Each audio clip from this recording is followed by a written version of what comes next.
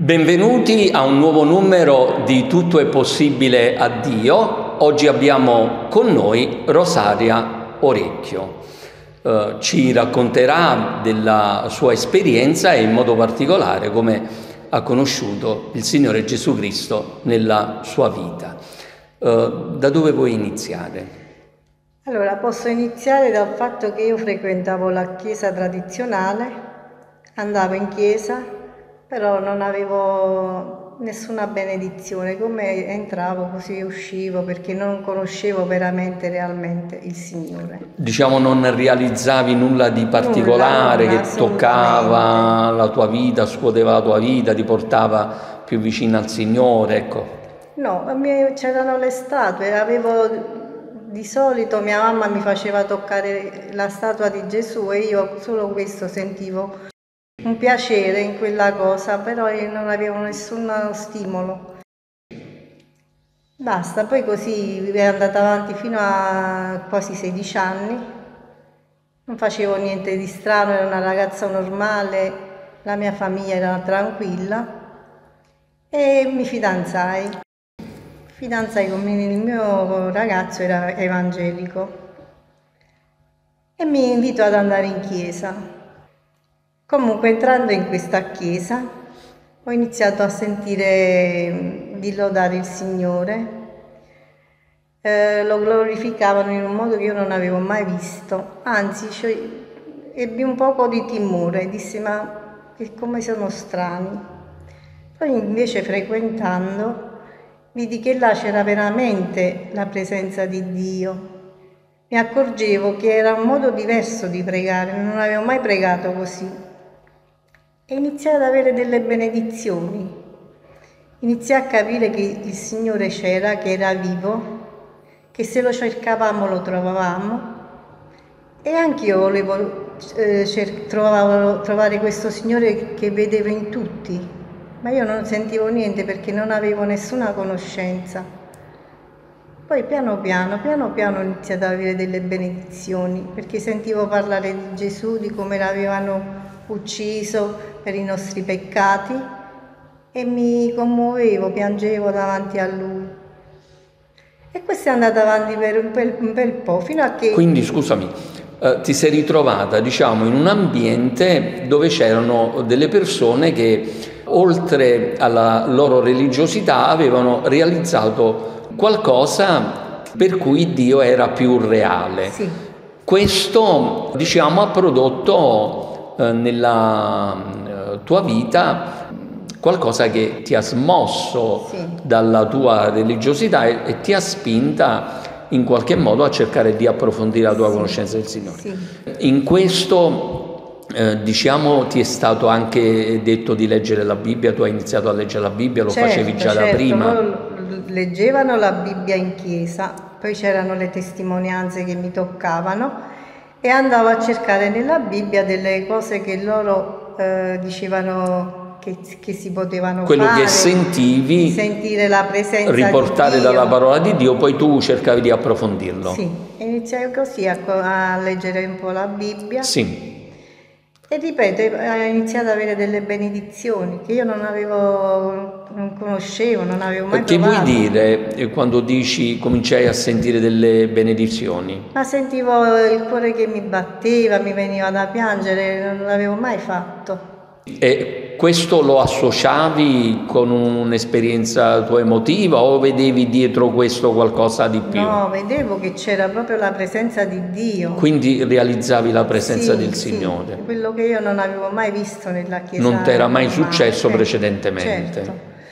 Che cosa ha prodotto questo nella tua vita? Beh, ha prodotto che eh, avevo quasi preso la decisione di fare un patto col Signore e che cosa vuoi dire quando per spiegarlo a chi magari sì. eh, che volevi fare un patto col Volevo Signore? far parte di questa, questa famiglia, di, di, essere pure io una figura di Dio.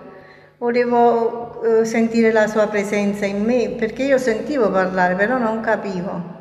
E quando ho iniziato a... Il patto col Signore, eh, forse perché io lo comprendo, volevi fare il battesimo in acqua. Sì Cioè, quindi non era voler aderire tipo a una nuova setta, no, ma, no, ma, in realtà fare quello che, che indica la parola di certo, Dio. Certo. No? E Quando Gesù ha che detto... facevano gli altri membri della Chiesa. Sì, ma perché lo facevano diversi. altri no, no. o perché era scritto nella Bibbia? Anche perché c'era scritto nella Bibbia, però io li vedevo eh, nel vivo che erano diversi da noi. Perché ti colpiva che l'esperienza eh, tratta dalla parola di Dio che loro facevano produceva dei risultati. I cambiamenti, di, era un'altra cosa. Credo sia importante specificare questo, certo. no? perché uno può pensare che siamo stati influenzati perché alcuni facevano certe cose e no, facevamo no, noi. No, in realtà perché partiamo quello da quello che la Bibbia, parola insegna. Certo, prima la Bibbia andavo a leggere. Sì. E poi vedevo le, le, trasformazioni che c'erano nelle persone. Avevi delle testimonianze evidenti di cambiamento. E volevo far parte anche io di questa famiglia. Sì. Poi invece ebbi delle, delle, incomprensioni un po' con mio marito, un po' con i miei familiari. Hai vissuto delle situazioni ero, particolari? Ero all'inizio della fede, quindi non ero fortificata e mi allontanai, ma non mi allontanai dalla chiesa perché io frequentavo comunque la chiesa. Portato i miei figli alla scuola domenicale perché dissi questa è la verità. Io non li porterò eh, in altre chiese. E questo è andato avanti per un bel po', perché io poi avevo... Quindi, eh, perdonami per chiarire bene, sì. Eh, tu hai continuato a frequentare questo luogo dove eh, realizzavi che la realtà di quello che la Bibbia ci dice era, era vissuto. Però eh, nel disporti per un'esperienza più profonda col Signore, diciamo lì ti sei un po' arenata. Sì, okay. perché sono stata ostacolata perché ci sono state queste situazioni e che allora hanno io, non essendo creato delle allora difficoltà. ho detto va bene, poi magari in seguito ci ripenserò. Rimandavo, rimandavo. Quindi diciamo, anche frequentando, come tu dicevi, un, un contesto diverso, però sei ricaduta nella uh, religiosità. Mondalità. Questo è anche importante. Certo per eh, far comprendere noi crediamo che, che, non è il posto dove noi siamo, uh, o una, una, religione piuttosto che un'altra che cambia la nostra vita, ma è la nostra esperienza diretta col Signore. Certo. Quindi poi che è successo? È successo che poi abbiamo uh, fatto delle amicizie e mi sono... Stai parlando del tuo contesto familiare? Familiare, sì, con mio marito. Andavamo a fare i viaggi, eh, si usciva tutti insieme, poi chi faceva sfoggio di anelli, gioielli e quindi volevi sempre essere Eri come presa loro. più che altro dalla quindi vanità, mi, ecco, dalle mi cose. Presi, mi prese un po' questa vanità di, della, del mondo che, sì. c'è nelle amicizie mondane. E questo è andato avanti per uh, quasi vent'anni. Sì. frequentavo, però non riuscivo a prendere mai una decisione rimandavo sempre. Poi un giorno lessi dal calendario evangelico la storia di un uomo che gli parlavano di Gesù e lui rimandava sempre. Diceva non ho tempo per queste cose. Quando fu che stava alla fine dei suoi giorni, stava per morire, gli parlarono di nuovo di Gesù e lui disse non ho più tempo per queste cose. Questa, questa cosa mi toccò profondamente, perché dissi anche io faccio così, rimando, rimando. Ti sei dissi, rivista Signore, un po' in sì, questa esperienza. L'esperienza di quest'uomo, di Signore, fa che non succeda anche a me la stessa cosa, che poi non avrò più tempo. Perché comunque per me questa era la verità di Dio, non c'era più niente da andare, da andare a cercare. E così mi, io e mia cognata Sara decidemmo di frequentare di più la chiesa nei, negli studi. Sì. Per la preghiera. E tutto questo mi, mi fece tornare indietro nel tempo, quel desiderio che avevo di conoscere di più il Signore e capii che ero una peccatrice, che il Signore Gesù era morto per me sulla croce e che avevo bisogno di essere salvata. Quindi facendo questi studi io capii tante cose che non avevo ancora capito.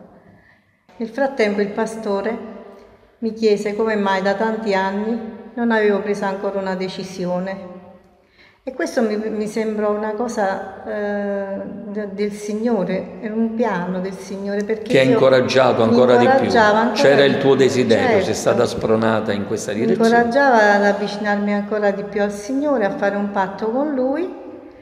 E in tutto questo in poco tempo io avevo il desiderio di stare sempre in chiesa, di pregare, di chiedere perdono al Signore dei miei peccati e di cercarlo sempre di più vivo, perché sentivo che era vivo vicino a me.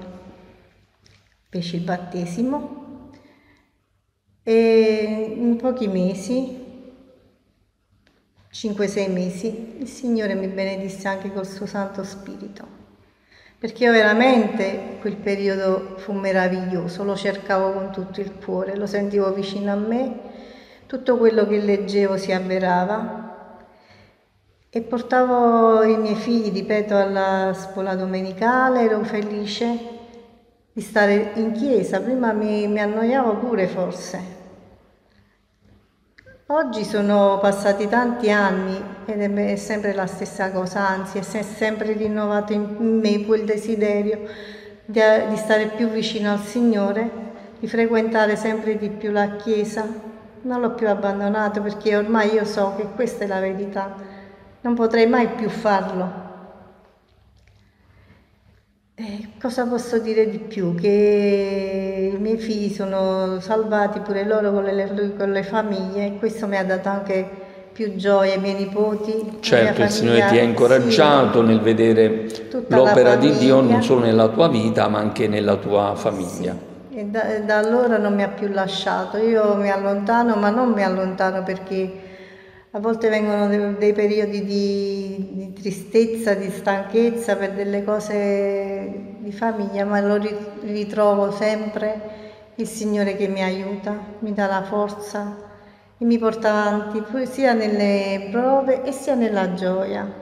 Sta sempre vicino a me, io lo sento vicino. Quando non lo sento mi, ho paura di... Ti preoccupi? Mi preoccupo, sì, e lo cerco con più fervore. Quindi grazie a Dio oggi il Signore è una realtà nella tua vita. Non potrei mai più lasciarlo perché è in me.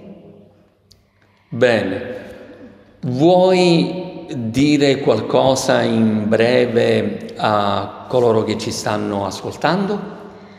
Sì, posso dire di cercare il Signore con tutto il cuore, perché il Signore dice chi mi cerca mi trova, chi trova me trova la vita. Io l'ho trovata questa vita in Gesù. Non, niente e nessuno mi potrà mai la, far allontanare da Lui. Chiudetevi nella vostra cameretta, cercatelo il Signore, inginocchiatevi e cercatelo, il Signore si fa trovare. Questo è quello che posso dire e troverete la gioia, la pace, l'amore, la serenità in famiglia, quello che manca perché oggi siamo in un brutto periodo per le famiglie. Veramente c'è bisogno del Signore in casa, non c'è più.